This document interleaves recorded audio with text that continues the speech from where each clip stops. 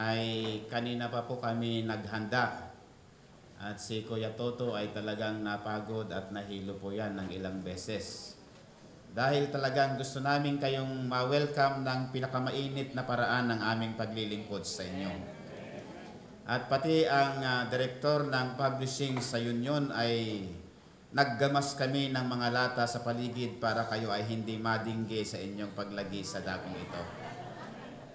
At mga kulkultor na nagbayanihan, si Manong ah, Doming at saka si Brother Arnold ay talagang nag-grass cutting kami kanina para kayo ay makita nyo ang ambience na dito po sinasanay ang mga literature evangelists. By the way, ang lugar na ito ay seminary ng mga kulkultor.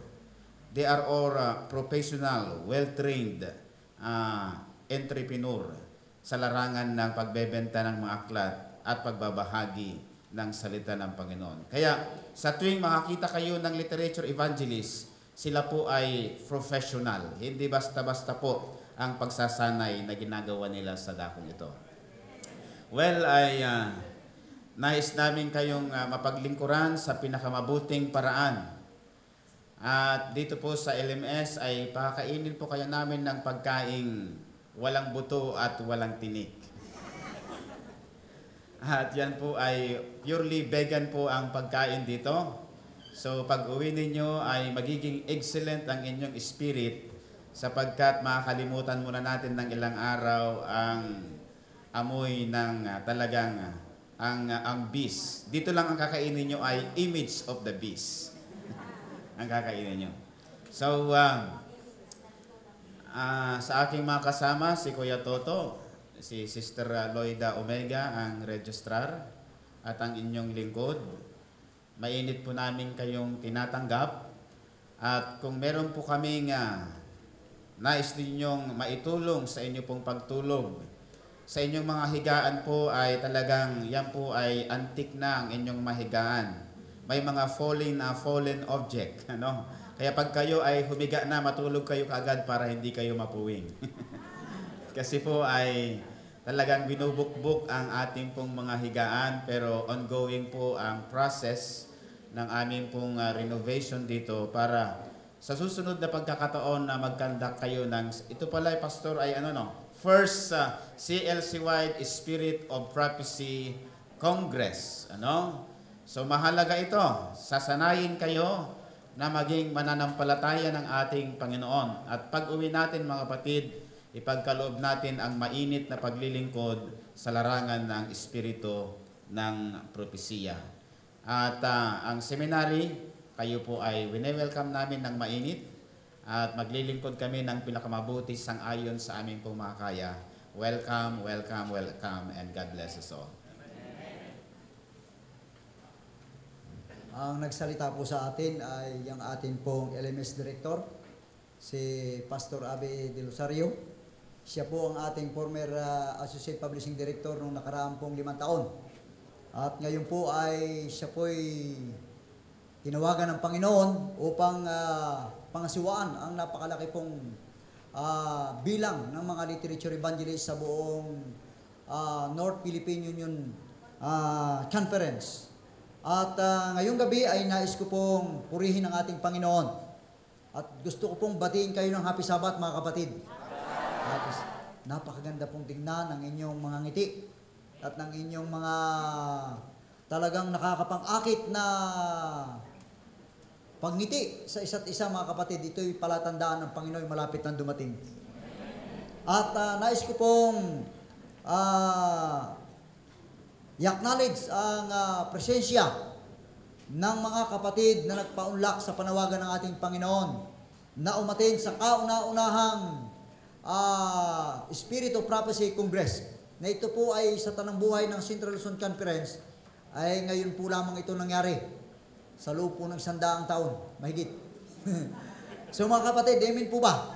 At kayo po sa kasaysayan, kaya po tayo sa bukas, bago tayo magkahiwa-hiwalay, pipicturean ho natin na inyong mga picture, maaaring ilagay natin sa museum, na ito ang kauna-unahang kasaysayan na nagkaroon ng Spirit of Prophecy, at kayo po ang ah, nakalagay doon. Ano po? At ang maganda po dito, marami po tayong mga tagapagsalita, walo Kaya busog na busog ho kayo bukas. Ah, wala hong pahingahan po ito. Bukas po ay maaga ang gising para po tayo maaga at alas 7 magsisimula na ho tayo. Dahil yun walo, yan ho'y handang-handa na po. Kaya huwag kayong kukurap pag kayo nakatulog. Nako, palagay ko, one-fourth ng buhay ninyo ay mawawala. Mga kapatid, unang-una po nais ko pong pasalamatan ang suporta. Hindi lamang ho siya tagapagsalita bukas, pero suporta ang presensya ng atin pong walang humpay at masigla na lingkod ng Diyos na atin pong Spirit of Prophecy Director ng, in- ng North Philippine Union Conference. Siya po walang iba kundi si ah, Director ah, Amar ah, Palaya. Pwede patayuin po natin. Yan. Bukas na po natin bibigyan ng bulaklak si Sir kasi bukas po ay magsasalita. Anyway, Sir, salamat po ng marami sa inyo dahil simula po po sa simula, nung ako po dumating dito kayo naging director, hindi po kayo na-absent. At siyempre, may suporta pa ho yan. Ba? Yan ang maganda. So mga kapatid, gusto ko po rin i-acknowledge ang presensya ng atin pong mga masisiglang mga ah, mga pastor, mga district pastor na galing po sa iba't ibang area. Ah, pwede po bang patayo natin sila? Hindi na po natin ma ma, ma, ma, ah, maisa-isang pangalan nila. Pas, ah, lahat po natin pastor, ah, pre-intern at saka po basta kayo po ay naglilingkod sa CLC bilang pastor. Ayan. Ito ho, ay kayo tumayo po pastor. Ay kita niyo mga kapatid, bukas ho'y may darating paraw ng mga pastor para suportahan ang programang ito. At ganoon din po naman ang galing sa Area 1. Pwede po bang tumayo ang galing Area 1? Ay Area 1 na yan. Mga kapatid, galaw nyo. Ang Area 1 po ay galing po yan ng uh, Nueva Ecija, Kabanatuan. Kita nyo mga kapatid. At ang Area 2, ayan, Bataan, Sambales. Ayan po mga kapatid, tingnan po ninyo. Sa dami po natin ito, patatlo-tatlo, paapat-apat, nabuo po marami. Oh, ang galing sa Area 3. Ano yung Area 3 nga? Pampanga, yung mga Tarlac. Yan. Abay, apat po. Isipin po ninyo, paapat-apat ho tayo, maraming tingnan. Oh. Ang Area 4, ito po ay Bulacan. Bulacan, ano nga yan? Ah, area 4. Parating pa lang, wala pong Area 4. Mga kapatid, wala pa lang Area 4. Ay kung narito sila, mas marami tayo. Ang Area 5, Kabanaba. Abay, mas marami yan yung malayo po yan. Isipin nyo mga kapatid. Praise the Lord. Welcome po mga kapatid. Ang Area 5, ah, Area 6 pala. Ang Area 6 po ay Quezon City. Yan ang mayaman na territory. Kaya yan, no, maraming pera yan. Yan po mga kapatid, happy Sabbath sa inyo. Welcome po. Kayo pinakamarami. Ang Area 7. Aba, mas marami ho ito. Saan ho itong lugar ito? Rizal. Alam nyo, malalakas ang espiritu ng Rizal. Palibasa malapit sa langit. Bundok po yun eh. Mga kapatid, welcome. Ang area po, ah, Area 8. Po, Manila ho ito. Pasay. Isipin ninyo, ang dami na ho niyan. Nasaan na? Mga kapatid, marami ang maliligtas sa taga Rizal. Ay, ito marami eh. Spirit of Prophecy, eh, malalaman nyo bukas yan. Tingnan ninyo sa ating program. Ang Area 9, mga kapatid, Area 9. Nakaw. Tingnan ninyo, pag ang chairman ay naririto, maraming ah, representative. Kita ninyo. Pastor, congratulations. Kung kami lang may medalya, sinabitan na ho kita. Ayan. Ang Area 10. Cavite. Aba, nasa kaya ang chairman ito, pagkakadami. O, oh, taga Cavite ho kasi ang director eh, kaya marami. Sige, salamat po. Ang Area 11, mga kapatid, ay kita ninyo, yan ho, ang baluarte, ang ah, pinakamalayo po nakarating, galing ho yan ng Juan, ng Baler. Kita nyo mga kapatid, dalayo niyan, dalawa. So mga kapatid, pag pinagsama-sama ang bayan ng Diyos, ay talaga hong ah, masaya. Ay, nais po natin pasalamatan ang lahat ng ating pakilala sa inyo, ang ating pong associate. Nandito po sa ating likuran. Medyo mahaba-haba ito. Si Ma'am ah, si Ma'am Shirley Muller. Yan po ang ating Associate Publishing Director ng Central Luzon Conference. At yun pong ating Associate ah, sa Divi ito po ay from Division 2 at sa Division 1 po Yan po'y mula Cavite hanggang Manila. Yan po'y si Pastor Sagnoy. Nasa na yan? Naku mga kapatid, nawawala. Hindi, yun yung busy kasi nag-aasikaso ng mga darating pa. Kaya mga daily case, siyempre ganyan po kasipag yun. So mga kapatid, ah yun yung ating mga secretaries po, ay yan ho'y, wala hong tulog yan, magdamag. Ginawa ho yung ating mga programs natin, at saka ho yung sa speakers na mga outline, hindi pa ho naibibigay. Anyway, ibinili na po namin na yun pong lahat ng mga topics dito, yun pong inyong mga USB. Yun yung pong ilabas na ho yan na bukas at mm, kuha po natin para may kopya kayo. Pagdating po nyo sa iglesia, PowerPoint ho ang gagamitin ninyo at maganda ho ang inyong sermon. Amen po ba? Ayan. So ngayon po, ah meron ho tayong ah, media, taga-media. Yan pong galing AUP. Si Sir ah, Erwin. Erwin, pasamba. Si, bra- ah, Sir Pasamba. Ano, ano nga? Wilfred, yan. Yan po, iba, hindi ko alam kung bakit naroon siya sa sulok. Baka walang saksakan. Ito yung saksakan. So mga kapatid, ah tayo po naka, ano po tayo? Naka-telecast po tayo. Kita ho tayo sa buong, buong mundo. Mga kapatid, naka-internet tayo. Kayong kwan, gagandahan yung ngiti ninyo.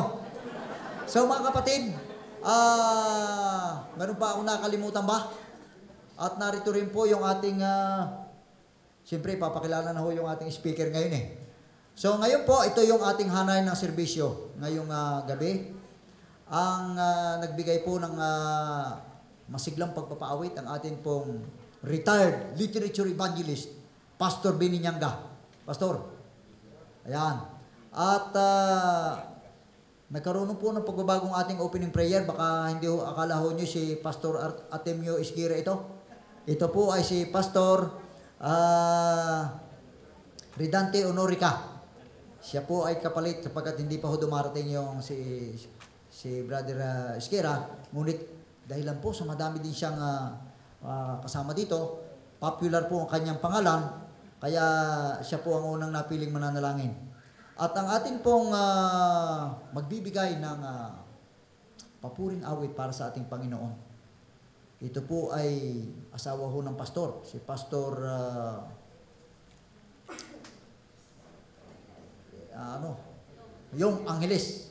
Siya po ay si, uh, magbibigay ng uh, tanging bilang ay si Ma'am Mary May Angeles.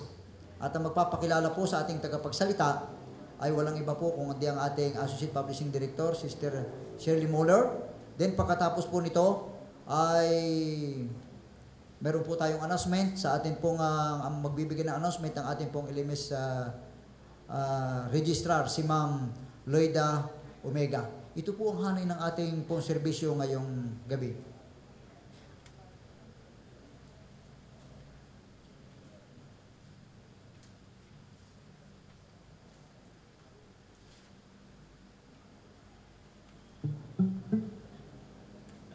Happy Sabbath po sa inyong lahat. Ako po ay nagagalak na nasa inyo pong harapan. Ako po ay dating nandun lang sa likod. Ang mother ko po ay literature evangelist. Kapag may mga gantong seminar, lagi po niya akong sinasama. Hindi ko po alam kung pwede yung bata o hindi. Kaya pag may seminar, na magtatago po ako dun sa kwarto. Tapos kapag ah, nagsiseminar na dito or dun sa baba, So, lalabas po ako, sisili po ako kung ano na ang nangyayari. Na hindi ko alam na ngayon po pala ay mapaglilingkuran ko ang mga literature evangelists, ang mga anak ng Diyos na kaisipag. Di ba? Purihin ang Panginoon po sa inyong lahat. Ah, bago po ako umawit, ay ipopromote ko lang po ang... Meron po akong CD album, Buhay na Pag-asa. At meron din po ang aking asawa, si Pastor Yong, Sweet Jesus. At ito naman pong mahalin mo lang siya ay sa amin na pong dalawa. At tinulungan po kami ng banal na espiritu na sumulat ng awit. Hindi po kami composers na talagang sa, sa sarili namin. Pero nagulat po kami na kaya naming sumulat ng awit. Kaya sabi namin, Panginoon, binigay niyo ito sa amin. Ibabahagi din naman namin sa inyo. Kaya ito pong awit na ito ay para po sa Panginoon at sa inyo pong lahat. Kahit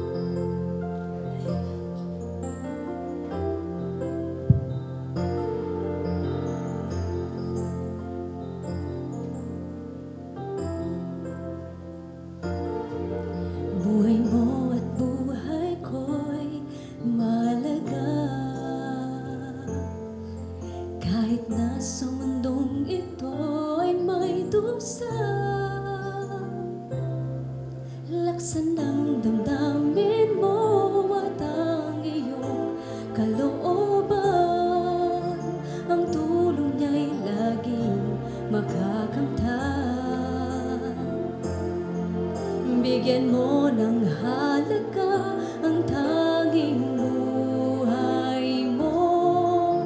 Ang Diyos ang nagbigay ng pag-asa. Doon sa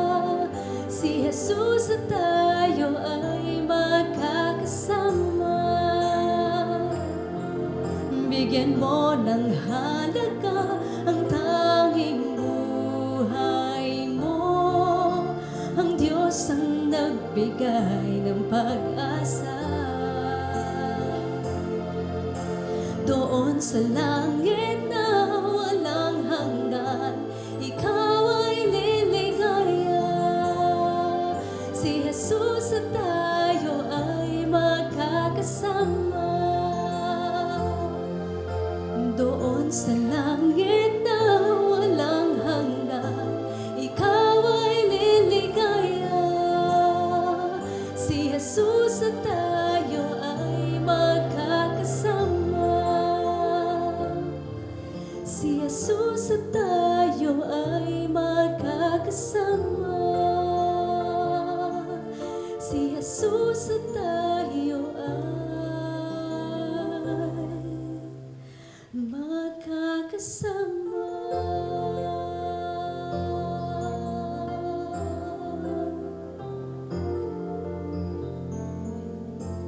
Purihin po natin ang Panginoon.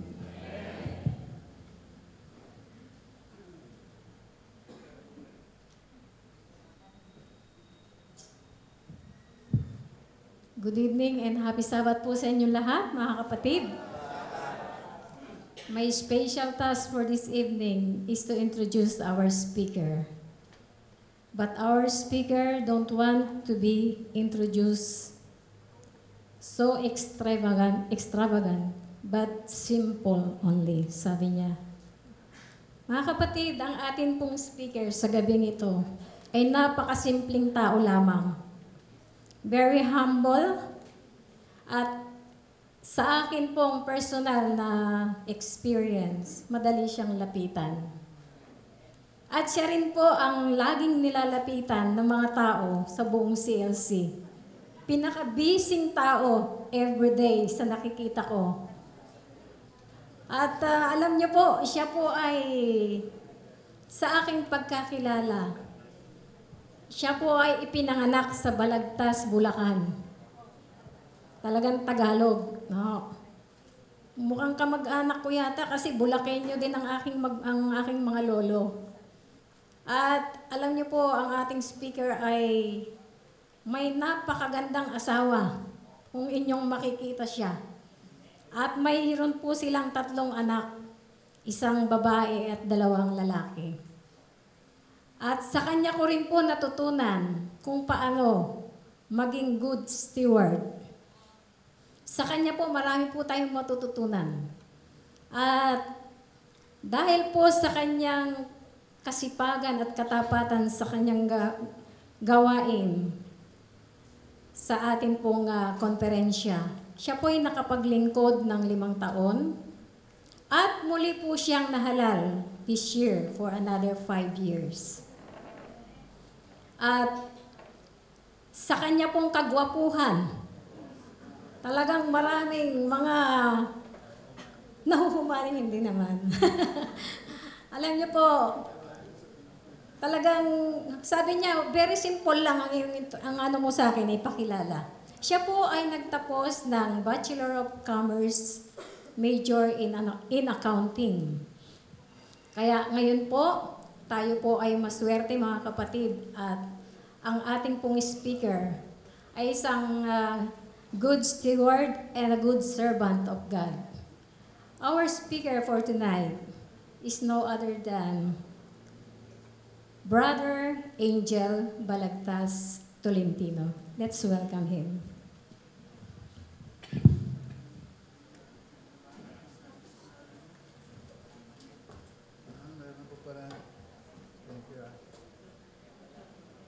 Bagay na bagay kasi naka-green ako sa Palaya.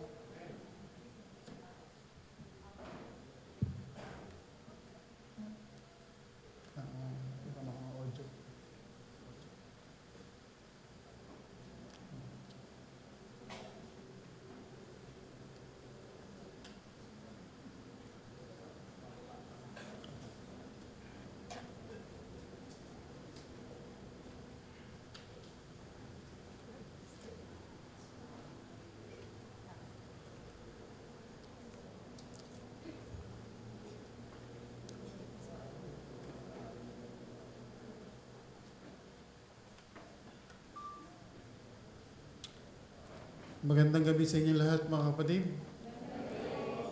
Ako'y kinakabahan pagka napapahaba ang introduction mga kapatid. Kasi ang ah, imbis na ma-focus sa speaker sa pakikinig ninyo ay napopokus sa asawa. Ang pagka-emphasis sa aking asawa ay napakaganda raw. Pagka talaga hindi masyadong gwapo ang asawa lalaki, talagang lumulutang ang ganda ng asawa.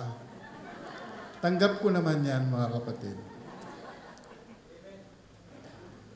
Kanina ako ay nakaupo dyan. Ako ang kauna-unahang taong pumandik dito. Pangalawa pala kay Pastor Abe. Ay binati ako ni Pastor Matira. Sabi niya, berding-berdi ka. Sabi ni Pastor Matira, mga kapatid. At sabi ko ay hindi yan ukay-ukay. Yan ay RTW. Medyo luma na yun, Pastor Yong. Yung salitang RTW. Pero alam niyo ba, kaya nag-flash sa isip ko yung salitang RTW ay para lalo niyong maintindihan ang team ng ating Congress. Kasi ang Reach the has RTW. Di ba mga kapatid? Mas madali nating matatandaan. Well, uh, siguro ito na ang pinakahuling uh, pabalita o isang tema na bagamat uh, pinagsisigawan ng ating direktor kanina na ito ang first ever CLC-wide SOP Congress. Totoo naman mga kapatid, sapagkat uh, ako'y natutuwa dahil kahit 300 pesos lang ang inyong registration, ay talagang binabaan nila para mas marami ang makapunta. Ang sabi ko nga, Sir Palaya, ay para libre na, hindi ngayon mga kapatid ha? Ay gawin na lang once in every two years. Then free na ang accommodation at pagkain. So kahit sa mga treasurers ng ating mga iglesia, we only have our uh, program or CLC treasurers convention once in every two years or three years. Para free lahat at mag enjoy ang ating mga delegates. Maraming salamat sa nagbigay ng special number, Mrs. uh, Angeles. Napakaganda nyo. Susunod kayo sa aking asawa? Siyempre, kay, si, sa mata niyong, kau po ang pinakamaganda. Ngayong gabi ay pinroblema kong masyado itong presentation na ito. Sapagkat ah, unang-una sa lahat, masyadong exposed na ako dito sa mga seminar at sa mga usaping ganito. Palagi ako naiimbitahan, bagamat sa aking pakiramdam at sa aking ah, abot ng isip ay hindi ako karapat dapat na tumayo rito. Nung ako nga ay nasign ni Director Matira, sabi ko ay gawain ng executive secretary yan, mag-keynote address. Sabi ko, ang last keynote address ko ay sa Baguio pag ginawa. Way back 2012 pa, 2012. Pero months ang aking preparation, mga kapatid. Pero ngayon, ako'y na-challenge. Sapagkat ah, pangalawang termo nung ko na ito, ay sabi ko dapat sanayin ko na ang sarili ko. Ako'y natutuwa na kayo ay paglingkuran. Gusto kong sabihin sa inyong lahat na from the bottom of my heart, gusto kong sabihin sa inyo na ang aking ibabahagi sa inyo ay produkto ng aking mga narinig na pag-aralang personal at personal na communion sa ating Panginoon. Ito ay ah, hinihingan ako ng title, wala akong maibigay. Sapagkat ako ay hindi bihasa kagaya ni Pastor Redante Honorica. Bihasang bihasa yan sa paggawa ng mga presentation. At ang ating mga pastor ay talaga naman kahit na impronto mong i-assign ay magsasalita at magsasalita yan, Pastor Abe. Pero ang inyong lingkod, siguro matatapos ko na uli ang five years. Kinakabahan pa rin ako palagi. Reach the world. The RTW. The last message na pwede nating dalhin sa mga iglesia, sa mga kapatid, sa mga kaibigan nating lahat. Gusto ko nga palang i-congratulate ang organizer ng first ever SOB Congress, Spirit of Prophecy na ang ating mga kapatid na associate sa publishing, si Pastor Sagnoy at si nag-introduce sa akin na sabi ka mag-anak ko siya. si Shirley Moller at ang ating mga kapatid na direktor sa Union, Sir Palaya. Alam nyo, tiningnan ko ang mga topics ninyo magmula bukas ng umaga. Huwag nyo nang isama yun sa akin.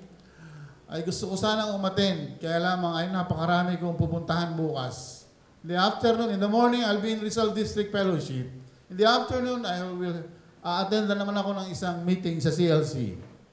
And then, on the following day, Sunday, we'll be having our XCOM. I tell you, hinga lang ang pahinga, mga kapatid. Ang SOP Congress na ito ay uh, napakahalaga at gusto kong sabihin sa inyo na una, ano ba ang ini-expect natin dito sa SOP Congress? Baka naman ang isipan natin ay dahil mura ang registration ay makakaalis tayo sa ating mga churches at tayo makakahiga sa nalalaglag na mga bokbok, sabi ni Pastor Abe. Away from the city, mingling with our friends, attending this, attending this kind of seminar. Pero alam nyo ba, kung ano ang ine-expect natin sa Congress na ito, ay meron ding ine-expect sa atin ang Panginoon. At gusto kong sabihin sa inyong lahat that we are not all called to share Christ globally, but are all called to live Christ locally. Sabi ni John Maxwell, mayroong three levels of living or the three levels of life. And all of us will live our lives on one of these three levels. The lowest level is survival, according to Maxwell. The second level is success. And the third level is significance.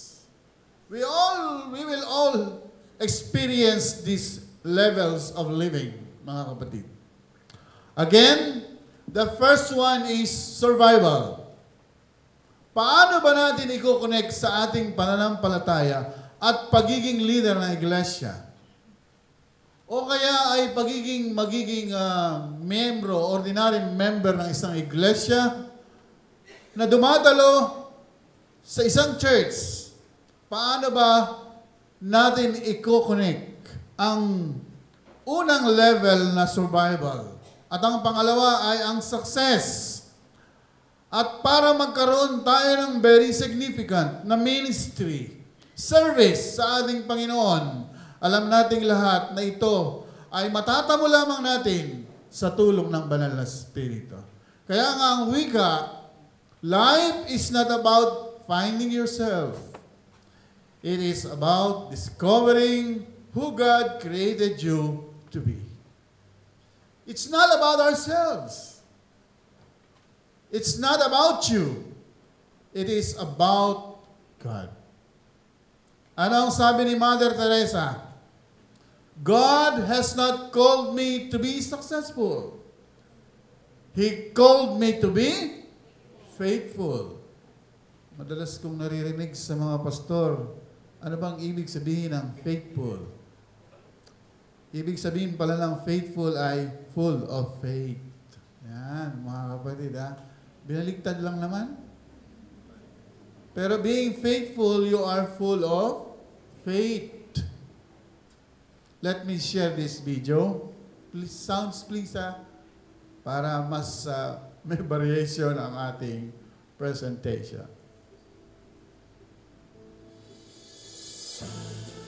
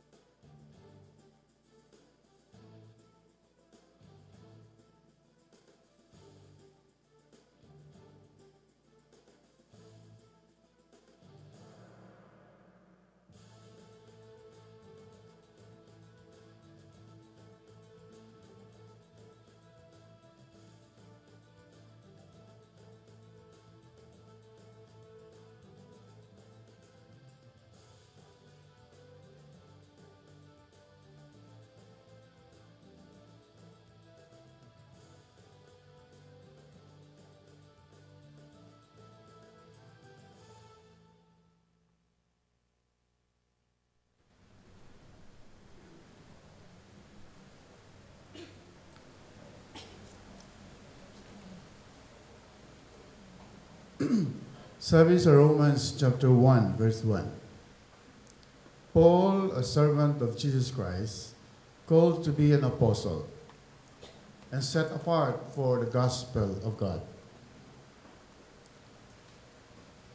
Mahilig kong, madalas kong marinig sa mga pastor. Kasi mga pastor, bihasa mag-analyze ng mga teksto.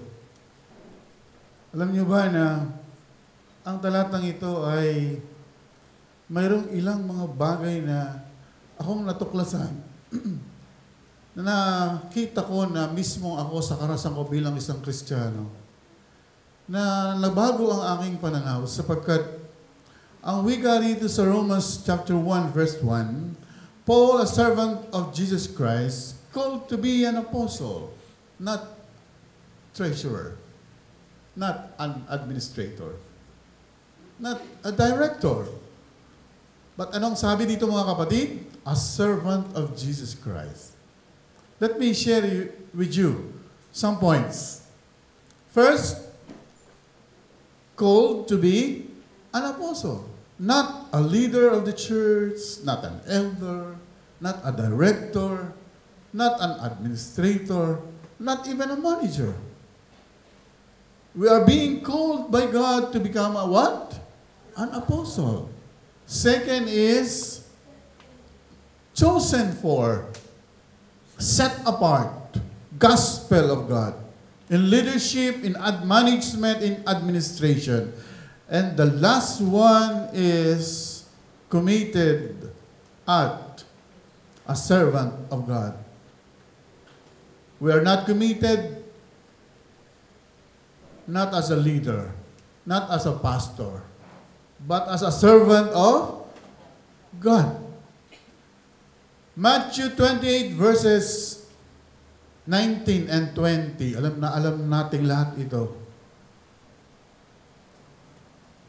Kung tatanungin ko kayo, pag narinig niyo yung talatang iyon at marahil sa inyong isipan, ay alam na alam ninyo ang talatang Matthew 28, 19 and 20. Among these four, ano ang inyong priority? Ano ang inyong primary objective?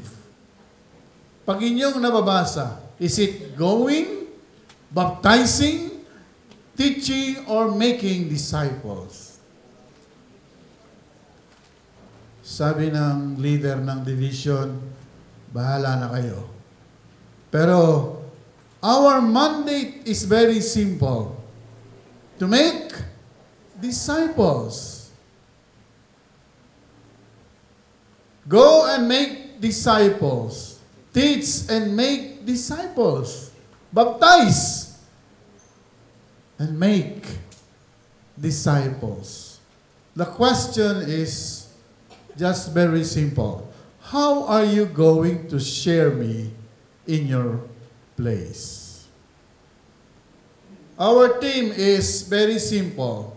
Let's reach the world. In what way? Through TMI. It is through total member involvement. It is an old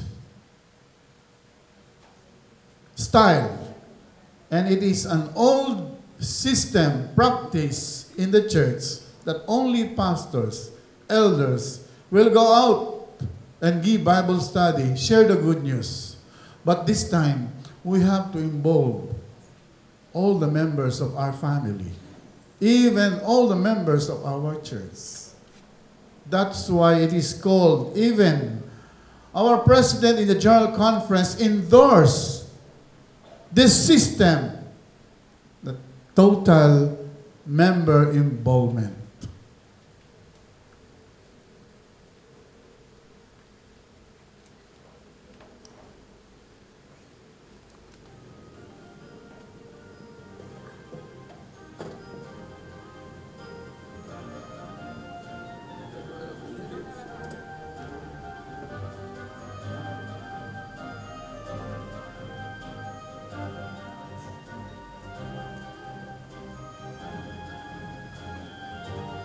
Doon sa compound ng CLC eh, tuwing Merkules at Biyernes. ang mga bata, pinapractice kung paano magsalita, magbigay ng Bible study, pamimigay ng mga pulyeto. Ngayon ko lang yan nakikita mga kapatid. Noon, bihira akong makita yan. Ang nakikita ko lang, mga elder, mga pastor, mga nanay, nasa bahay, nagluluto. Pero ngayon, it's time for us to involve our family, our children, for them to be trained because we all know that heaven is our destination. Masasanay silang lahat dyan.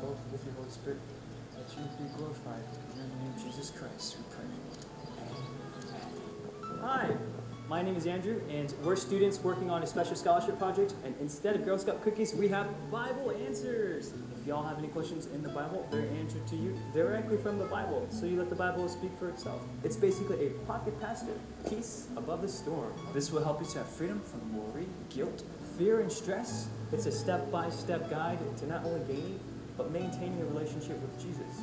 So last one that I'm going to show you is the Great Controversy. This takes history from the last 2,000 years, combines it with the Bible, fast forwards to today to show how Galing American magsalita. world events fit into Walang Bible tigil? like a puzzle. Parang bae.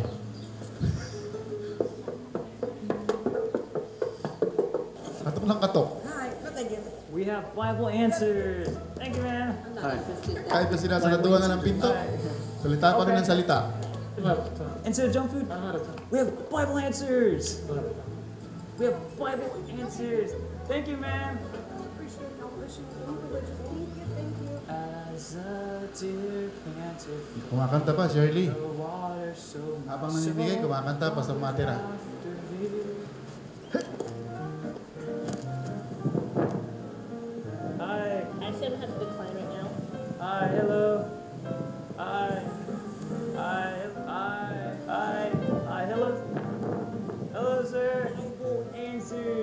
Above the storm. A great controversy. We leave these on a donational basis. Checks, credit, or cash. Which works best for you, sir? Cash, for sure.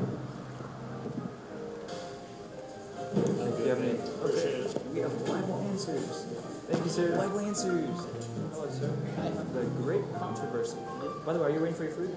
Uh, yeah, I'm, I'm over here. You can sit down with me. Okay, yeah. Again, we leave these on a donation basis. I need these messages, so you were sent to bring these messages to me. There you go. Ideally, I would like it to happen, but it's very difficult. So, Would you like me to pray for you, sir, before I go? Yes. Okay. What's your request? um, that In your name, Jesus Christ, we pray. Amen. thank you, Andrew. Glory to God. Hey, I know there's a reason that you're here today. I know there's a reason I stopped here. So, thank you so much. Yeah, glory to God. Thank you. Thank you, thank you. Glory to God, man. Okay. I wish the best, my friend.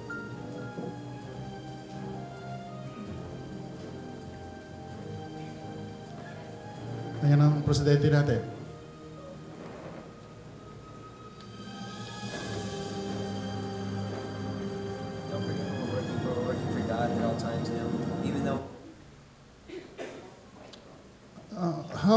going to share Christ in our place? It's through TMI. If we have no talent of sharing the good news to other people, we can share with them Spirit of Prophecy books. Minsan nga na nagagalit ako sa office kasi yung mga mga Spirit of Prophecy books na ibinibigay sa amin ng PPH, dinadagana sa likod ng bodega namin.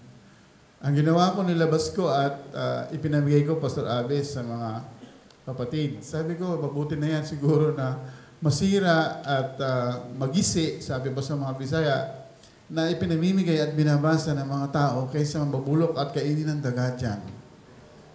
I think uh, we can only be successful using this system or practice of TMI by number three, which is the Christ method.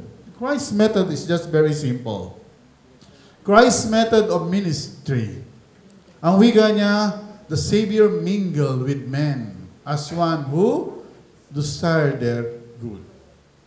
We as Christ's children, we should also reach the people who are unreached and share to them the good news of salvation.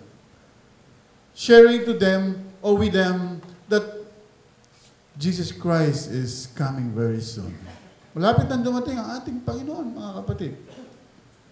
And then, um, He showed His sympathy for them. Nagugulat nga ako sa CLC ngayon. Lahat ng patay gusto puntahan eh. Ako pa naman, pagka magastos, eh, sinasabi ko, ba't gastos-gastos nyo ngayon? Lahat na lang ng patay gusto nyo puntahan. Pero alam niyo mga kapatid, pag mag-isa na lang ako, dapat nga pala puntahan kasi pag baka ako mamatay, walang makipaglibing eh. Uh, jokingly, sinasabi ko yun sa sarili ko mga kapatid, pero alam niyo, this is the time for us. Go to, to go to our friends and neighbors. Minsan, hi lang, tinutulungan lang tayo, pero hindi natin talaga intentionally dinadalaw sila. Alam niyo ako, madalas sabihin sa akin ng mga pastor, bakit parang laging bisita mo na lang mga manager ng mga taga-bangko? Alam niyo ba that they are my IEL? Binibigyan ko sila ng mga Spirit of Prophecy books. Pero wala akong sinasabi na I want, I want you to join the Seventh-day Adventists. Sinasabi ko lang sa kanila na especially yung ating mga, ano yan tawag yun, mga juices, healthy juices, lagi naka-display sa office ko, pinapakita ko sa mga kaibigan kong manager, sabi niya, ano ba yan? Yung isa kasi nagkikemo, may sakit. Pag nakita nila, magkano ba yan? Huwag na natin pag-usapan yung presyo kasi treasurer ako, conflict of interest.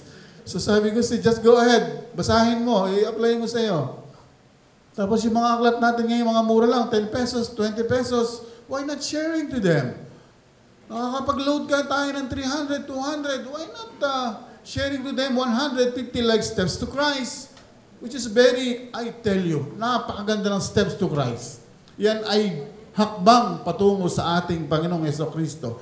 Anin pa natin ang pera, later na mawawala na yan mga kapatid. It's time to spend all our money. Kaya nga TMI eh, total money involvement. Ah, you like that ah? Then that he ministered to their needs. Pag nag-minister ka, hindi mo pwedeng maiwanan ng pera mo. Lahat. Pati nga minsan laman ng bahay mo eh. I-open mo sa mga tao. Ang bahay mo. Na kahit ayaw mo minsan makita yung mga appliances at yung television mo, parang altar mo. Eh ginagawa mo yon kasi it is one way of sharing to them or ministering them about the love of Jesus Christ. Ano ang sabi ng ating Panginoon? He won their confidence. Hindi mo pwede sinasabi natin na mahal natin si Kristo. Pero we don't open our houses to them, sharing to them. Pinapakita natin sa kanila kung anong mayroon tayo, mayroon sa ating bahay. Anong lamang mga libro ng ating tahanan, mga minamahal ng mga kapatid. It's time for us to open our houses to the people who are coming to in our places. And then ang sabi, then he bade them follow me. Galing mga kapatid, di ba? Yan ang tinatawag na Christ method. At ang pinakahuli, palagi ko naririnig kay Pastor Pastor Montoya, yung care group. Yung uh, intercessory family. Yung yung tinatawag na care yung uh, care yung ano yun? Intercessory IF plus uh, CF equals CG. Mga minamahal na mga kapatid. Napakaganda na pag ang anak mo nakikita mo, nagbabasa ng Bible, nagsishare ng pag-ibig ng ating Panginoong Yeso Kristo.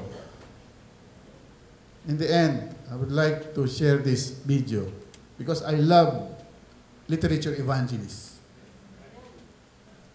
Ako po ay converted ng bagamat alam nating lahat. Want you to become champion. Pag hindi ka raw masaya, pag naglilingkod ka, hindi ka magiging champion. introduce you to an amazing couple of literature evangelists from the Wilmington, North Carolina, Jacksonville area. What is amazing about this young couple is how they began their life. Mercy was actually in a convent studying to be a nun when a couple of literature evangelists came to her home and sold her mother Seventh day Adventist literature. From reading this literature, she not only became a Seventh day Adventist, but became a literature evangelist. And her husband was actually in a convent studying to be a priest. And his family bought literature. He took it and showed it to the priest. And the priest said, You've got to get rid of that. It's from a cult. You don't want anything to do with it. But he did not get rid of the literature, and he became a Seventh day Adventist. At our retreat, we challenged our literature evangelists to try and reach a super goal of selling $200,000 worth of books in one year. And Neil and Mercy have taken that challenge. In fact, they called me on the phone the very first week and said, We not only want to do 200,000, we want to reach for $250,000. And listen to how God blessed them their very first week as they tried to reach this super goal. Ma'am, I believe you sent this card. Oh, that's my mom's name. And her mother was inside in the house and said, ma'am, did you order any books? And her, you know, and her mother came out and said, yeah, I like the Bible story. That- That's what I'm looking for. I got that card from the doctor's office. Her I said, name is Iris. yeah, Iris uh, Merritt. That's why you we know, that's, always you know, mention that's, her name. that's her name. magaling And pala that makinig sa mga you know, she said, come on in. And when, when I started the showing the books to her, she said, she kept on silent and said, wow, I like the family Bible. And my wife was bringing the family Bible and said, wow, I like the family Bible. I said, that's it. That's Jesus. That's the picture of Jesus. Because you choose Jesus in, your life. And I believe you like Jesus. Yes, you are. This is what I'm looking for. I said, ma'am, this is my family Bible. And I believe that when you have this family Bible, you'll be blessed because you have Jesus in your life. Well, it's not about money. Mga kapatid, it is all about sharing the love of Christ to other people. Money will just follow. If we will just primarily do our part in sharing the love of Christ to other people, ang wika rito, Jesus, hindi ko na mabasa yan ha, telling the secret for living a fruitful life. Very simple. I am the vine, you are the branches. Those who remain in me and I in them will produce much fruit. For apart from me, you can do nothing. God bless you.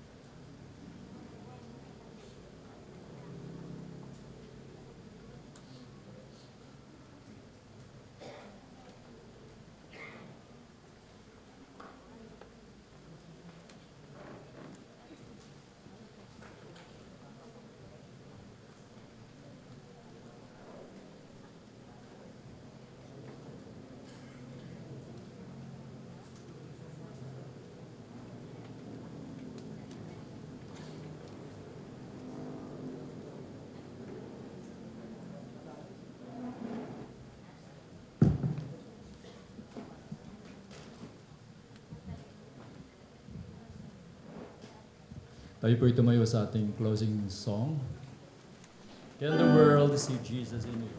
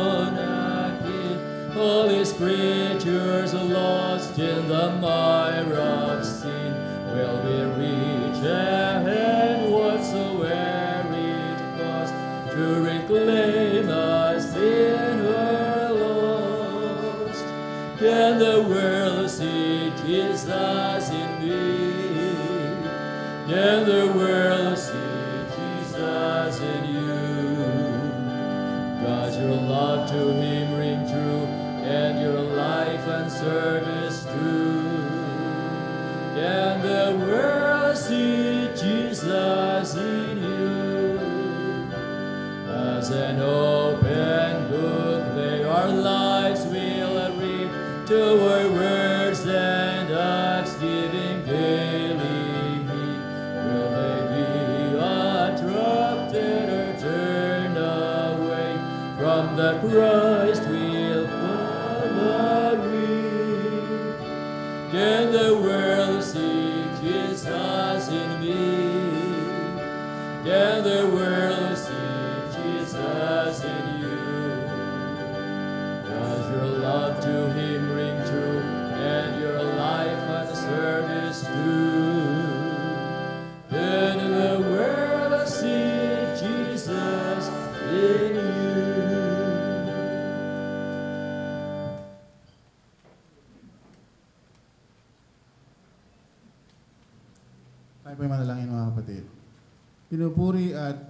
pinapasalamatan ka namin, mahal na Diyos, sapagkat kami yung minles ngayong gabi.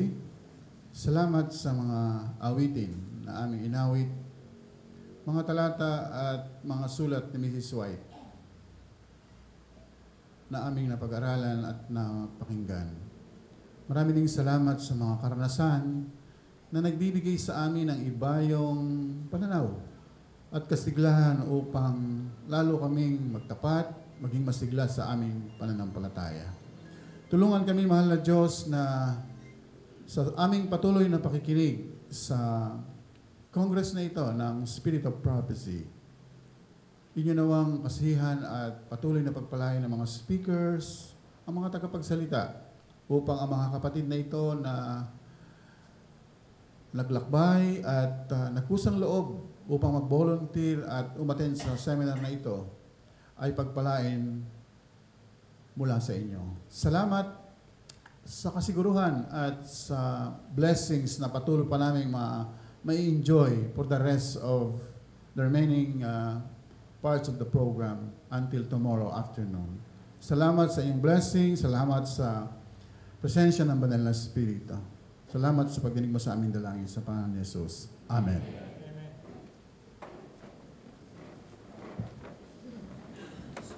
Tinatawagan ko po ang ating NTUC Director, ang ating pong associate, si Sister uh, Shirley, uh, Brother Sagnoy. Kayo po ay aming inaanyahan na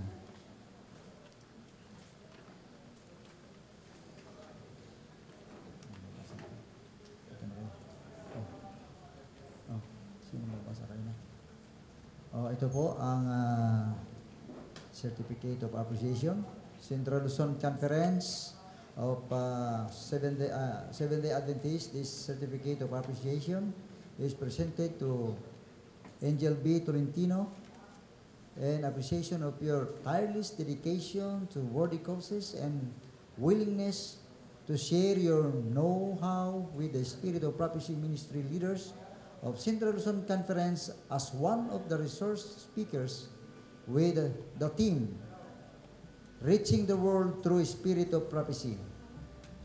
Thank you for your generous service, time, enthusiasm, and unselfish effort. Given this 70th day of September 2016 during the first CLC-wide SOP Congress held on the Literature Ministry Seminary, Bugtong, Lipa City on September 16 to 17, 2016. Signed by Videncio R. Bermudez, SSD Publishing Spirit of Prophecy Ministry Director, Mario R. Palaya, NPUC Publishing and SOP Ministry Director, Dionisio J. Sagnoy Jr., Associate Publishing and SOP Director, and Shirley Muller, Associate Publishing Ministry Director, and Pastor Freddy Matera, Publishing and SOP Ministry Director. Congratulations. Thank you, thank you. Oh, picture muna tayo. Teka pala, nasaan yung ating pang, ah, ano? Ito pala. Sir.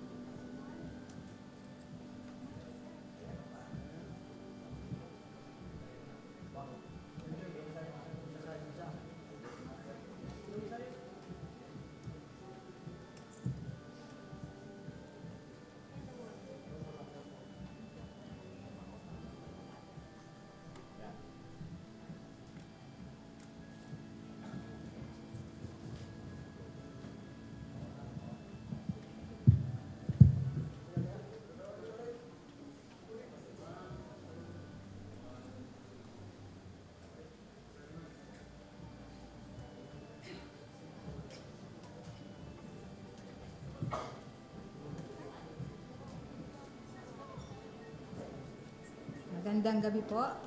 Happy Sabbath po sa inyo. Bago po tayo ah, mag- matulog ngayong gabi, meron lamang po kaming ilang announcements.